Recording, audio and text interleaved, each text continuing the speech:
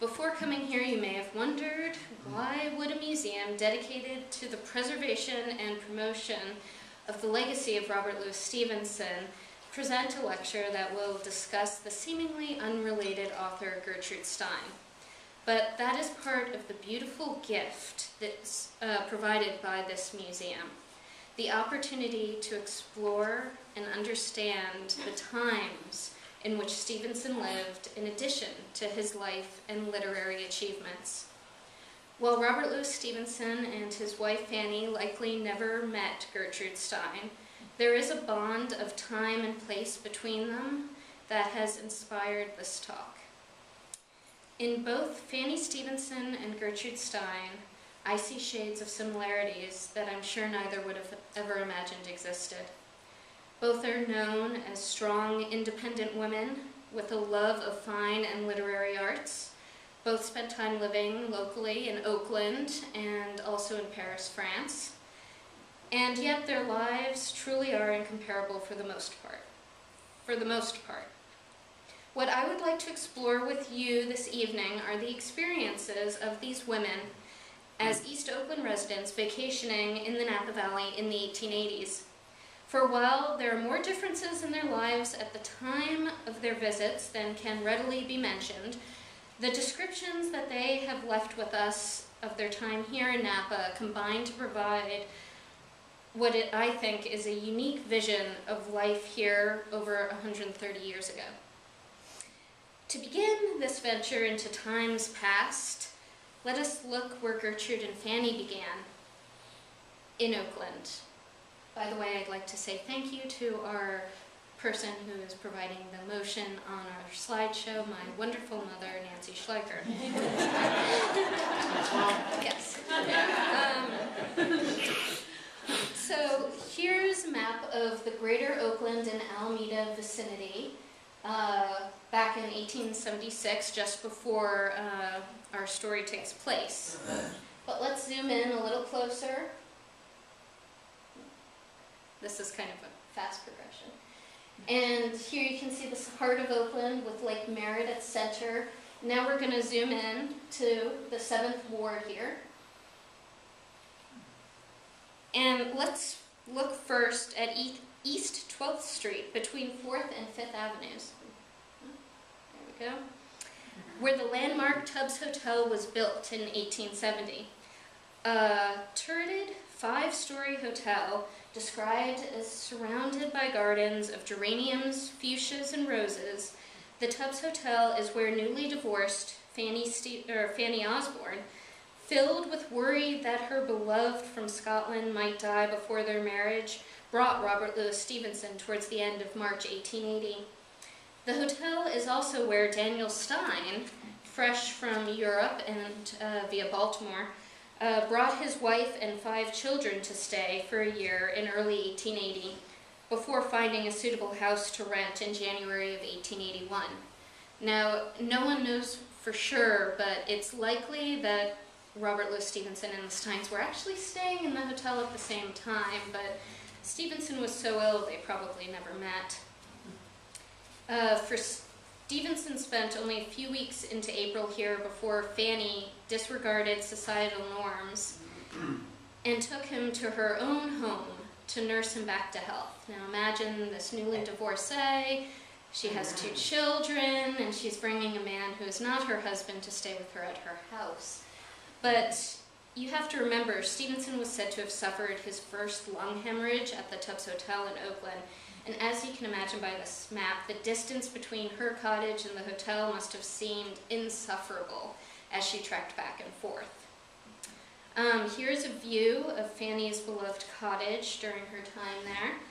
Uh, she was known to be an avid gardener, as is evidenced in the lower lush photograph, and another view kept in a family scrapbook that we have here in the collection.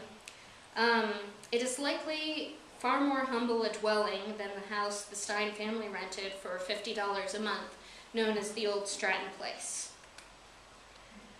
Although there appear to be no photographs surviving of it, the house was described as a frame house standing on a hilltop with views of Lake Merritt surrounded by a 10-acre yard bordered by a rail fence and a long drive lined with shaggy eucalyptus trees.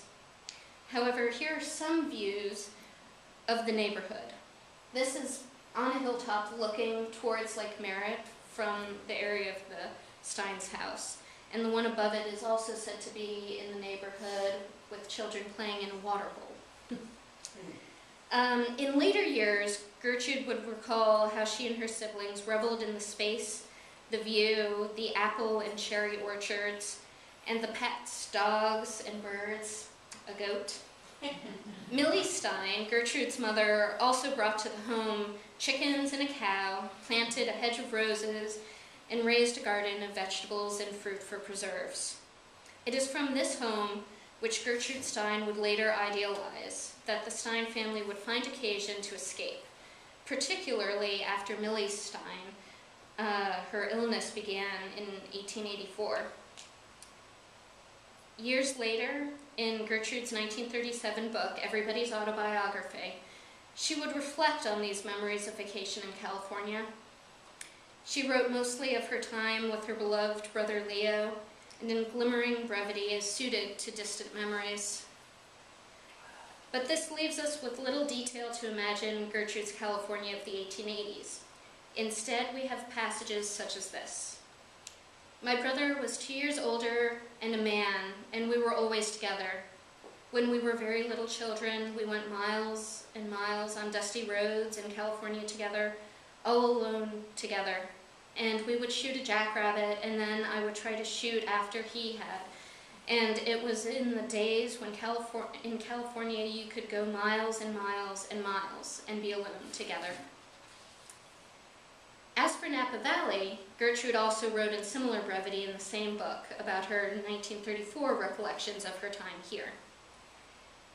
St. Helena is where we used to take the stagecoach to go up into the mountains, into the Etna Springs, where we used to swim in mineral water and go down into the quicksilver mines, and where the Chinamen were working, and where the overseer could swear 15 minutes without repeating himself. and, and, where uh, we knew the Madrone and the Manzanita, and where my brother and I had walked, at least we had intended to walk but everybody gave us a lift from St. Helena to Etna. It was where a great deal that I could remember did happen. As eloquent and characteristically Stein in style and form as these passages are about Napa, it made me wonder more about what it would have been like for the Stein family to come and vacation here at Etna Springs just a few short years after Robert Louis Stevenson documented his and Fanny's honeymoon in the valley in the book The Silverado Squatters. But what Stein has provided us is from the height of her avant garde, a time in which she is trying to engage us, her reader, in her own conscious awareness without the burdens of details, which might isolate us from her thoughts.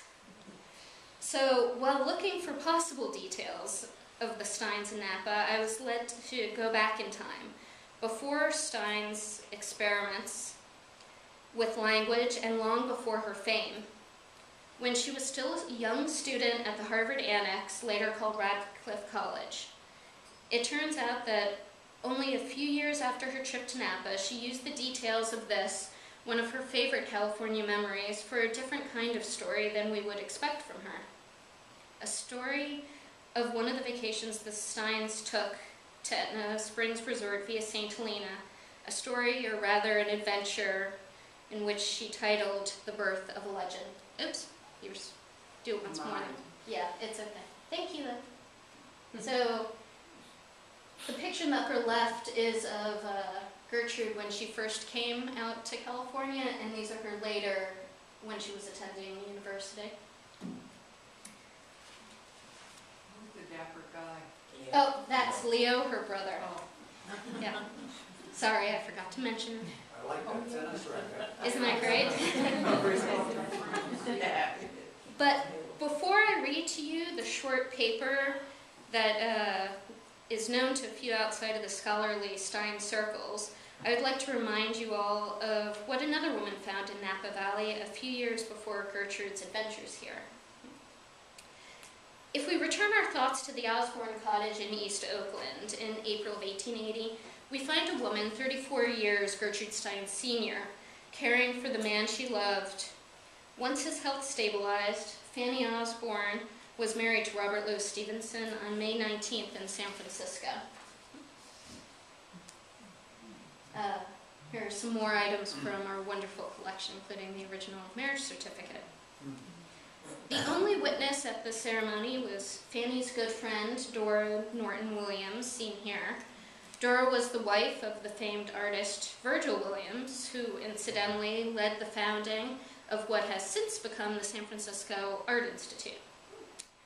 The Williams owned a cottage up here in Knights Valley on Sugarloaf Mountain, which they often offered to friends for vacations. Here's one of Virgil's paintings of their ranch. Though unknown why the Stevensons did not stay here then, these other paintings by Williams of the area certainly could have helped enchant them if they had seen them. Uh, this is a shack in Knights Valley. This is actually in the Sharpstein Museum's collection. A view of Mount St. Helena.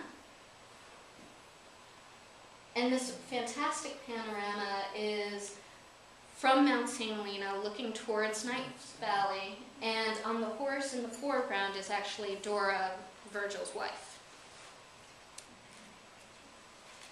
Okay. Um, here we go. On May 22nd, the couple arrived in Vallejo after a train and two ferry rides, and then the next day traveled north to Calistoga by train. At what has been suggested to be the recommendation of Fanny's ex-husband, which was quite gentlemanly of him, the couple stayed their first week in a cottage at the Hot Springs Hotel, known commonly to us today as Sam Brannan's Cottages. And one more. There we go. As we can see here.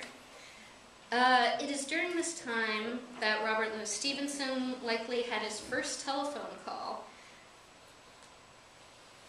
with uh, Colonel Foss of the stagecoach fame here at uh, Chesbro's Magnolia Hotel. It is also when the Stevensons visited the petrified forest, tasted the wines of Mr. Macron, the Schramms, seen here, and at the Baron, with the Beringer brothers, and visited St. Helena, all by horse and trap, of course. I should note that this visit to Beringer's would have been before the Rhine House was built as depicted in this illustration. Um, just in case you're wondering why it's not there. Then, at the encouragement of a local shop owner named Kelmar, they discovered the bunkhouse at the old Silverado mine, and after some preparations, stayed there until the end of July. Although this story may be familiar to many of you having read the Silverado Squatters and living here, what you should remember is that this book is a well-crafted travelogue by a master of the English language who wrote and reworked the adventure based on his diary that he kept here at the time. Of course, much of the book does match his diary verbatim, as the writings were less of a personal diary and more of an intended manuscript journal from which he could later produce the finished book. But it is in this original Silverado journal that we can catch a better glimpse of what the adventure in Napa was like, with some interesting details about Fanny Stevenson left out of the book. One passage, which found itself only minimally included in the final book, is dated May 26th and is about a failed attempt to visit the Schramms. They were not at home, being in St. Helena. Mr. Johnson, his young wife, and Fanny and I set forth in a trap to visit the wine cellars of Mr. Schramm. You go down a valley a little way among green meadows and white oaks standing handsomely apart, and past comfortable houses with verandas, and bald-looking, incomplete houses without verandas, standing in the damp thickets. At one point, the road lies along the bed of a stream lined on either hand with sweet-smelling willows. At another, it passes a great and rich establishment with an enormous overshot water wheel, as tall as the trees that grow beside it and fed by a little airy water trough coming wandering toward it through the wood upon preposterous stilts. The hills are around us all the way and Mount St. Helena at our backs. A great aerial bulk of mountain buttresses on all sides by cliffy ridges. The chief character of the landscape, I note, is from the sparse, tall trees along the mountain edge. However, far as you may be, each fir stands separate against the sky, no bigger than an eyelash, and altogether lends a quaint, fringed aspect to the hill. At length, we turn sharply up the mountain dell, a trail honeycombed through the woods. A stream on its last legs trickles close by, thimbleberries, a sort of mock hawthorn, buckeyes just beginning to flower. In the great double twisted horns, Fanny had forgotten to put oil on her face and was promptly poisoned with poison oak, the curse of this country, no offense to rattlesnakes or hairy tarantulas. However, poison oak was not the only illness to plague Fanny on the trip, I'm afraid. Soon after their move to Silverado with her son Sammy, later known by his middle name Lloyd, um, both Fanny and her son fell seriously ill with diphtheria. Stevenson, a sickly man himself, suddenly found it necessary to carry them both down the mountainside to recuperate in Calistoga for a few days. And yet, there were many pleasant times for Fanny, who, like her husband, enjoyed the people they met in the valley. Fanny, a capable and likable woman, not only spent time chatting with Mrs. Schramm on the veranda, as mentioned in the final book, but she took time to console the poor woman on her husband's requirement of wearing a corset, even in the hot sun, when, whenever she goes to pay a visit. Hence, she pays no visits, and hence, as she says, people hate her. Fanny was also a cheery companion to Kelmar and his Jew girls, a term both Stevensons used in writing to indicate Kelmar's wife and friend Abramina. Stevenson noted in his journal that at Mrs. Giles we drank a bottle of wine and had an age-long conversation, after which he continued that Abrahamina, Abrahamina and Fanny were now as thick as thieves. It is not to be wondered at, for there was something really beautiful in this old girl's gamesome, natural Jew soul, oh, and as the others were somewhat inclined to cut her garrulity short, she could not fail to appreciate so dutiful a listener as my wife. Yet to understand Fanny's view of her time here in Napa, we really need go no further than a letter she wrote to her mother-in-law when The Silverado Squatters was first published in 1883. After writing of her protest that the publishers did not get the corrected proofs in time, so that the entire story was rather garbled and spoiled, in her mind, Fanny writes Mrs. Stevenson, You wonder at my allowing Louis to go to such a place.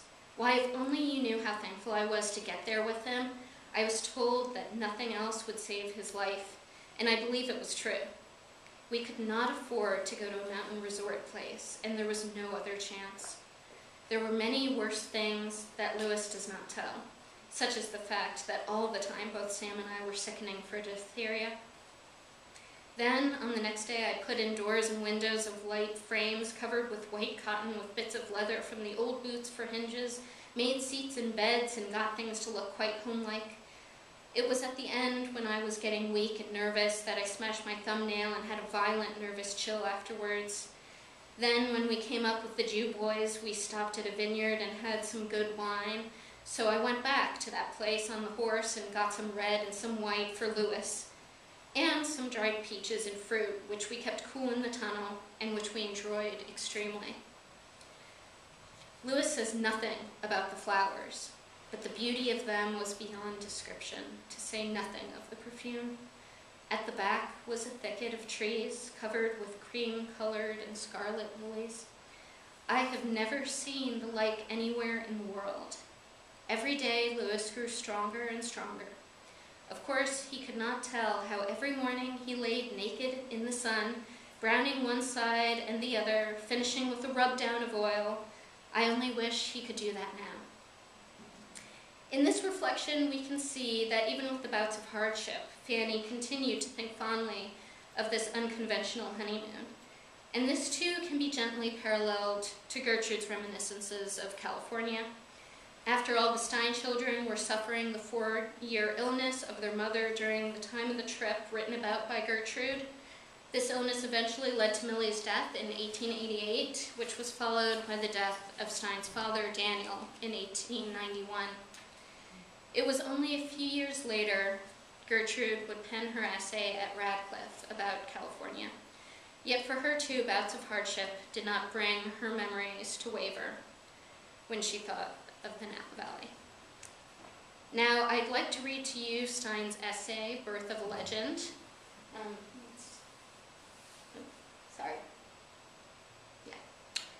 Uh, I'd like to note that this is a transcription of her original essay by Rosalind Miller, which includes some corrections and suggestions inserted by another hand, possibly Stein's professor. I've taken liberty to make use of some of these corrections when necessary for grammatical continuity, but for the most part shall read it without these inclusions. Additionally, please note that Gertrude renamed her brother Harry in this story. Although she never had a brother by that name, it is clear by her statement of age difference that the brother is Leo Stein, who was pictured with the tennis rackets.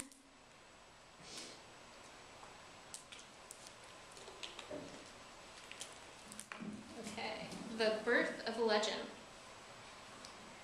When we were Californians, we used regularly to spend our summer in the mountains of Napa County. In order to reach the springs, we had to stage a distance of 20 miles from the town of St. Helena. One summer, my father suggested that my brother and myself walk instead of riding. Harry was just 13 and I but 11, and so we agreed to the proposition in high glee. We decided to perform our pilgrimage on a Sunday, a day that the stage did not run in order that all temptation to give up our project might be removed. The porter woke us early in the morning and we started out bravely. We carried a shotgun and a small satchel with refreshments. It was a delicious summer morning. The air, fragrant with pine, had that crispness and clearness that I think is peculiar to California. The long, cloudless summers removed every particle of moisture from the air. At night, the stars have an unearthly brilliancy. In other lands, the heavens appear as a surface. Here, every star hangs down out of the blue behind it, and you, for the first time, realize that each is a world apart. We soon covered the level ground and struck up the heavy mountain grade. As we were passing a pond in a canyon, we saw a bird that was new to us, resting on what seemed a little island near the bank. My brother raised his gun and fired. The bird fell over dead. We were heartless youngsters then, and were so fond of our shooting that we had no sympathy for our victims. Harry climbed down the bank to get his quarry. He stepped on the seeming island, which was really only a bit of reed and sticks. He lost his footing and went down well up to his waist. Before I could come to his rescue, he had scrambled out and stood on the shore, a most forlorn and dripping laddie. There was nothing for it but to let the sun dry him. If you have ever been in California, you probably were compelled to notice the remarkable dustiness of the roads. Even if you have not been there, please picture yourself. The thick dust, the result of fully three months of dry weather on country road, you can imagine what a picture poor Harry presented for the dust. Eager to seize on the only bit of moisture that it had known for many a day, came joyously down and gathered around his moist garments. However, we were born bohemians, and we trudged along hopefully. The sun was now well up in the sky, and it was growing exceedingly warm. We picked some large, cool madrone leaves, and grew very uh, that grew very conveniently for the hot wayfarer. They come in groups of three and four, in the shape of a fan, and are a delightful protection. Okay. Protection from the glare of the sun when put just under the hat, shading the face. The scenery soon began to grow somewhat tedious. We have so little forest country, unless one goes to the Sierra Nevadas, that our walks are apt to be monotonous. Of trees, except the madrone and the lordly redwood, one finds only the low shrub-like manzanita and the deadly poison oak. The oak is the one leaf that gives our country brilliant color. But alas, for those that are susceptible to its dread power, Even a breath of its hmm. air wafted from those brilliant red leaves means a week of suffering. The streams by the middle of summer are all dried up, and the dust has settled on all the foliage, and nature sadly needs a refreshing sprinkle. Our hunting zeal had not yet abated, although the heat was beginning to tell on us. As we marched along, we noticed a little jackrabbit sitting right across the road. His long ears were impudently pointing towards us, saying, as plainly as ears could say, Don't you wish you had me, little boy? Harry immediately accepted the challenge and began to load his gun in order to give little Johnny Rabbit a lesson. Unfortunately, the cartridge stuck and would not go in. It was too large for the gun. Then my brother tried to get it out, but this also was unsuccessful, for once halfway in, it was resolved to stay. All this time, the little rabbit was watching us with the most tantalizing expression in its intelligent ears. Harry tugged with his teeth, and I hardly dare breathed. I was so afraid the rabbit would go. Harry managed to cut the cartridge out with his knife, and just as he was about to put in a good one, Master Rabbit, with a defiant wish of his stub of a tail and a last impudent week, with those long ears, leaped into the wood. We plodded on. The hunting became more successful, and we added two heavy rabbits and a woodpecker to our baggage. To make progress easier, we hung all of our goods and chattel on the gun, each taking an end of it, and thus we managed to get along. We were now about five miles on the road. Before this, we had refused several offers of a lift from sympathetic farmers passing by, but now our weary little souls began to yearn for the repetition of offers that we had heretofore so indignantly refused. We had not got much further on the journey when we were overtaken by a jolly farmer, who, of course, urged us to have a ride. We made a feeble protest as a sop to our pride, and then only too happily yielded to his urgency. We scrambled in. How different the whole landscape became when we could see it changing before our eyes without being distracted by a fast increasing weariness. As we mounted higher and higher into the hills, we could see the whole broad Napa Valley below us, with the slight haze of the summer's heat hanging over it. The view was not particularly picturesque. There was a painful sameness and artificiality about those squares of vineyard, dotted here and there with cool wine cellars. However, our farmer said the view was fine, so we acquiesced, but soon turned our eyes with greater enjoyment to the hills above us, with their madrone and redwood and their brilliant poison oak. Our farmer was very much amused at our project of walking to the springs. Every few miles he would ask us jocularly whether we did not want to get out and walk, but our ardor had been so thoroughly dusted that we were perfectly willing to let him joke while we rode rather than to be proud and walk. He finally deposited us within a mile of our destination, and we gave him a squirrel that we had shot in thanks. As he drove off down the road, his jolly laughter rang in our ears.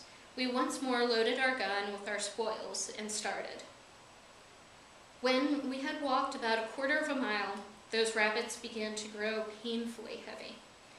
We decided finally that rabbits were not much good anyway, they being so common, so we dropped one and then the other by the roadside.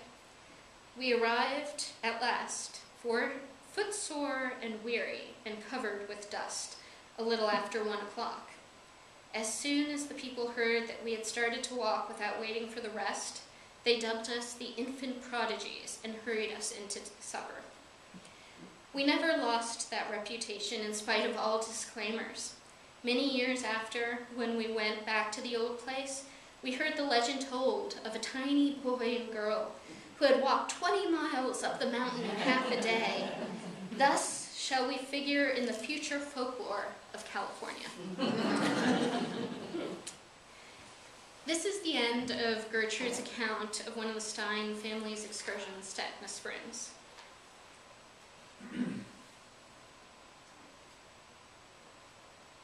There we go.